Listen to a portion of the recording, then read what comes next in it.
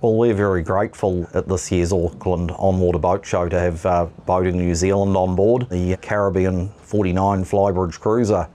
This is the current model boat and the first 49 here in New Zealand waters.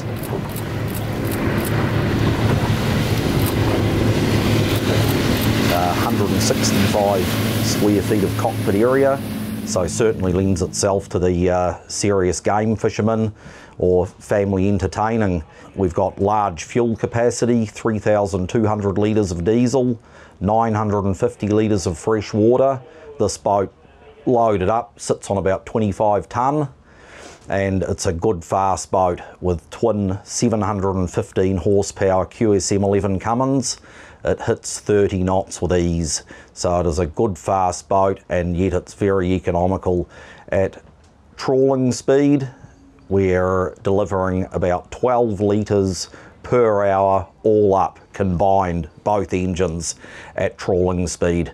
And at 21 knots we're using less than 130 litres per hour and that's pretty good for a 25 tonne boat and um, it's three cabin twin bathroom great layout massive refrigeration great accommodation and obviously they're known throughout the world for their seakeeping qualities.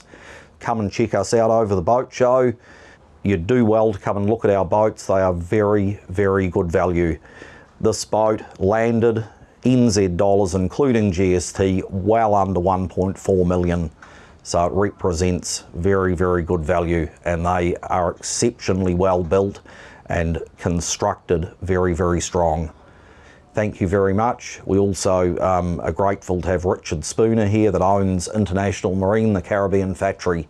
Thanks, Scott. Uh, yeah, my name is Richard Spooner from um, International Marine. We make the Caribbean uh, boats in Melbourne, Australia. To date, we've built over 55,000 boats out of our plant in Scoresby. I'm the third generation in the uh, Spooner family who has been building boats since the late 50s.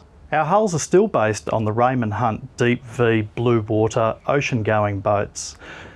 The 49 you're in, as with our other larger boats, are a hand laid hull that is hand laminated, no chopper gun. They are a solid construction. There are no cores in this. It is solid FRP laminate.